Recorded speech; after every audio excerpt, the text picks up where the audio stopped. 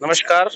आप भी शायद कर्मचारियों के लिए ही यहाँ पे लड़े हुए नहीं हम कर्मचारी खुद हैं इको गार्डन में हमारा पोस्टिंग यहीं पे हैं हम तो क्या कहना चाहिए मतलब आप लोग ये धरना प्रदर्शन आज कर रहे हैं और मुझे पता चला कि उनचास दिन हो गए आप लोगों को धरना प्रदर्शन पे बैठे हुए। उनचास दिन हो गए। और अभी कोई आश्वासन मिला? कोई कुछ आश्वासन नहीं मिला। मैं अठारह तारीख को गया था डीएबीसी के पास। वहाँ पर हम लोगों ने धरना दिया। वहाँ उन लोगों ने हम लोगों को उठा करके यहाँ इको गार्डन में डाल दिया। तब से हम लोग यहाँ धरना दे रहे हैं। हमारी कोई मांग मानी नहीं जा रही। कोई अधिकारी कोई नेता मंत्री यहाँ तक आया नहीं हमारे लोगों की मांग सुनी जाए। उनचास दिन हो गए आपको। उनचास दिन में कोई अधिकारी आया कोई जनप्रतिनिधि आया आपकी बात सुनने के लिए? नहीं आया अभी तक कोई नहीं आया। हम लोग परेशान हैं। बारह साल गुजर चुके हैं तेरवा लग गया है। तो सरकार को लेकर के आपका क्या कहना है? सरकार से हम यही कहना चाह रहे हैं हम लोगों का देखिए हालात क्या है। तेरहवा साल शुरू है हमारे लोगों का आठ सौ करोड़ रुपए का जो गमन हुआ है एनपीएस खाता खुलवा करके हमारे लोगों को पैसा वापस दिलाया जाए हमारे अकाउंट में डाला जाए। तो आप लोगों को पीएफ वाला पैसा नहीं मिल रहा है। नहीं हमारे लोग अकाउंट नहीं खोला गया दस परसेंट कटौती होती है। पीएफ वाला आप लोगों को मिल नहीं रहा है? नहीं मिल रहा है दस परसेंट हर महीने कटौती होती है। आज तक नहीं हम लोग को मालूम है हमारा पैसा जा कहाँ रहा है। यानी एक प्रकार का घोटाला ये सामने आ रहा है। जी ये आठ सौ का घोटाला ही है। आठ सौ करोड़ आठ सौ करोड़ का घोटाला है ये ये पीएस के नाम पे हो रहा है हाँ एपीएस के नाम पे हो रहा है आज तक पीपीएफ अरे वो पीएफआई वाला है ना जो प्राइवेट फंड में लोग करते हैं वापस सरकारी कटता है सीपीएफ बोलते हैं सीपीएफ हमारा जो है सरकारी कटता है उसका घोटाला आठ सौ करोड़ रुपए घोटाला हो गया आज तक किसी को पता नहीं कहाँ किस खाते में पैसा गया किस खाते में पैसा नहीं गया है कट रहा है कहीं शो नहीं हो रहा है कहीं दिख नहीं रहा है जी जी जी क्या कहना चाहेंगे भाई साहब सर तेरहवा साल चल रहा है हम लोग। आज तक ना ही तो हमारे लोगों को बावन बीस लगा है ना तो पीपीएफ अकाउंट खुला है।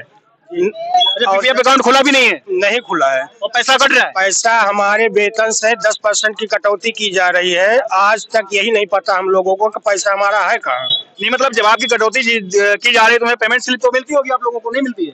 पेमेंट स्लिप मिलती है। उसमें शो करता है। शो करता है हर चीज़ है लेकिन हमारा पैसा किस खाते में जा रहा है वो नहीं पता है। आप लोगों को मतलब सही जानकारी नहीं दी जा रही कि हमारा पैसा जा कहाँ रहा है? इसका एड्रेस नहीं मिल पा रहा है आपको। भाई साहब शुभ नाम क्या हुआ आपका? संदीप वर्मा। हाँ, संदीप वर्मा जी आपकी क्या समस्या है? मेरी सर बारह सूत्री मांगे हैं। जी क्या क्या मांगे हैं आपकी बारह सूत्री मांगे? हमारी मांगे पहली पुनरीक्षित वेतनमान है मृतक आश्रित लागू किया जाए। जी।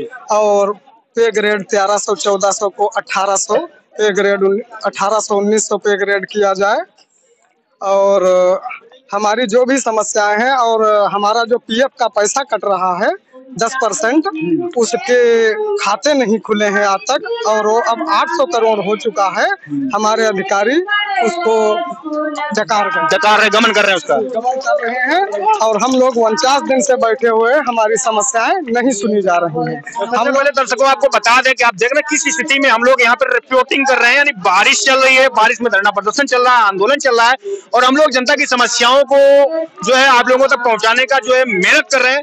हाँ जी। हम लोगों हम सरकार से यही रिक्वेस्ट करेंगे कि हमारे लोगों की समस्याएँ जल्द से जल्द पूरी की जाए। पूरी की जाए। लोगों का कहना यही है सरकार से काफ़ी उम्मीद है क्योंकि जो है सरकार जो है बीजेपी की है बीजेपी मुख्यमंत्री आदित्यनाथ योगी जी से काफ़ी ज़्यादा जो है उम्मीदें हैं।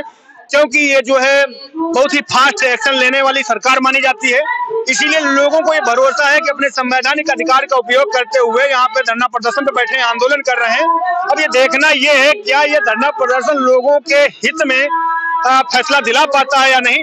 हालाँकि आज तक का इतिहास तो कुछ और ही कह रहा है। वैसे भी बीजेपी में लोग महापुरुष ऐसे भी हैं जो इतिहास को बदलने के लिए जाने जाते हैं। आप लोग समझ ही रहे होंगे मेरा कहने का मतलब क्या है। फ़िलहाल मेरी उम्मीद तो यही है, इस वीडियो को वायरल होने के बाद में लोग अपना अपना प्यार देंगे और जन जन तक पहुंचाएँगे। और सरकार तक ये बात पहुंचेगी, सरकार इसके ऊपर ज़रूर कुछ न कुछ पॉजिटिव एक्शन ज़रूर लेगी।